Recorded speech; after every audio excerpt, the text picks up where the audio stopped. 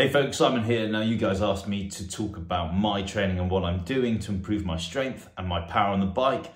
So this video is all about my focus over the next eight weeks and what I'm doing in training. And if you keep watching right to the end, I'll talk about the shift change in what I've been doing with my nutrition on my long rides, which I think has helped me recover faster so I can put out more effort when I'm doing my tougher training sessions. Righty, let's get into it. First off, let's track back. So I'm just waiting for Haute Route to confirm whether they're going to do the Haute Route Dolomites, and that's going to be in September. So right now they haven't actually published anything on their website yet. They've published some of their ones, but not the Dolomites. So let's track back from there. The biggest thing I'm doing next year is the Inferno Swiss. I'm taking the Inferno Swiss on as a solo competitor. It's a two-day stage race with 137 miles each day, covering 5,800 meters of climbing on each stage. That's going to be chunky. That's going to be in June next year. So why am I telling you all of this? Because then you can understand what I'm trying to do with my training. So let's talk about what I'm doing in April. I'm going to go to Mallorca. That's going to be for a big volume block with a bit of intensity. Plus I'm going to take on a few personal challenges to try and get around the island in as close to 10 hours as possible and also go back to Sa Calobra and see if I can beat my time from last year and get under the 31 mark. So let's track back even more. So in February, I'm off to Tenerife. And in the first week, I'm just basically training and working from Tenerife itself. And then the second week, I've got a whole bunch of the guys from Velo Performance.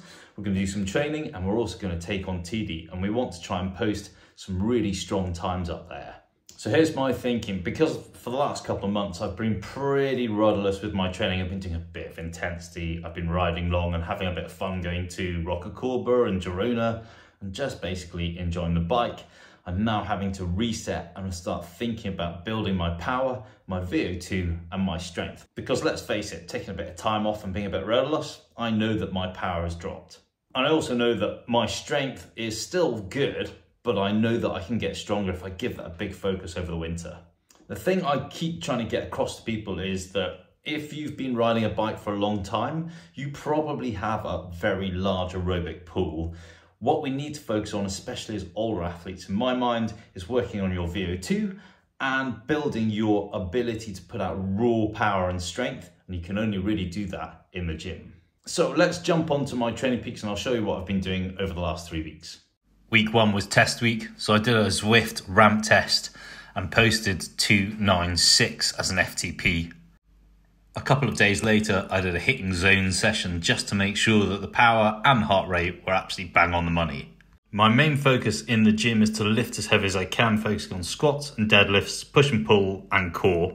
And I've added a new core conditioning session which is focused on cross rotational core work and lower and upper abs. The main focus of this block is VO2 to raise my aerobic ceiling and to get some power back, led with aerobic riding through the midweek and at the weekends.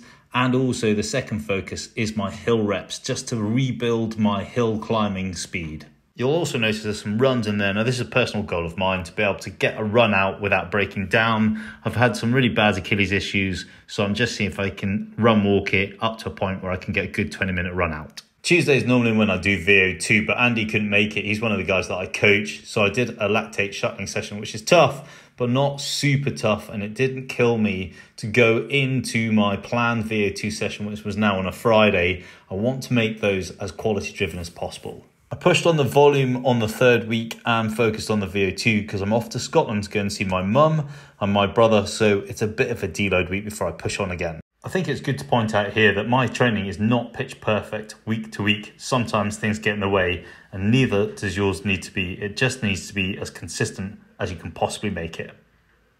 Righty, let's talk about the change in my nutrition for my longer bike rides. But first, let's talk about your hydration, especially in the winter. At this time of year, we tend to think we don't need to drink so much because it's cold outside, but in actual fact, we do because we're wearing more clothes and we tend to sweat more than we think we do. Remember, to maintain fluid balance within the cells, you need sodium anywhere between 1000 milligrams right up to 1500 milligrams per litre of water is pretty much my recommendation. Righty, let's talk about what I'm eating on the bike that I think has helped me recover faster and deliver more in my tougher training sessions. In the past, I've been eating about 30 to 60 grams of carbohydrate per hour on my aerobic rides because that's kind of all I really felt I needed. But what I'm now doing is eating 80 grams of carbohydrate per hour. The knock-on effect of that, I think, has helped me deliver more on my tougher training sessions on the bike, and I definitely feel it's helped me recover faster. And this is something I talk about a lot with the people that I coach here at Velo because as we get older, it takes us about 24 hours longer to recover at the same level as our younger counterparts. Now, if we can eat in a way that's going to support our training and recovery, and if that means eating a bit more carbohydrate, then I'm all for that. Let's face it, you want your training to be quality driven, but you also want to make sure that you're maximizing your recovery from your training. Right, let's talk about motivation because at this time of year, it's tough to look at 2024 with any kind of excitement. I work a lot on the motivational side of things with the people that I coach, and one of the cool things I get them to do, and maybe you can do this yourself, is to put yourself first in your diary. Now, what does that mean? Basically, it means you look at your working week and factor in your training and time for you first, and then put everything around you. Now, I can guarantee for the people that instantly react to that and go, I can't do that, those are the people that need to do it the most.